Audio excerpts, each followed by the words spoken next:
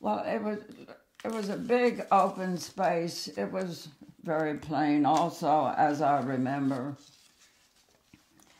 There was no music, no nothing. It was just that it was a nice get together for the people that hadn't seen each other, and they just socialized.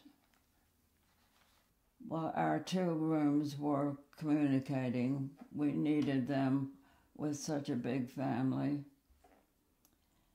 I think that we enjoyed the uh, salon because it was a get together. You got to know people, and it was something to do.